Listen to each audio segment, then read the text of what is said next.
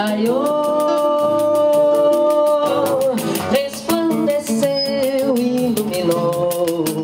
A importância dessa data que está eh, sendo fundamentada é sobre a doença falciforme, né? que atinge mais a população negra. É uma doença caracterizada por uma alteração na hemoglobina, que é uma proteína que transporta o oxigênio no nosso corpo.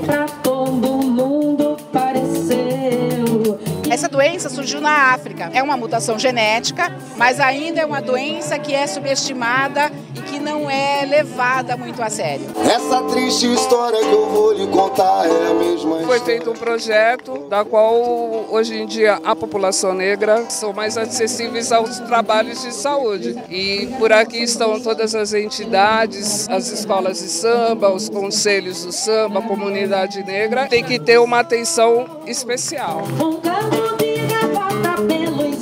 Esse tipo de ação é super importante e a gente tem que cair para dentro para dar certo. O povo que clama por paz e amor.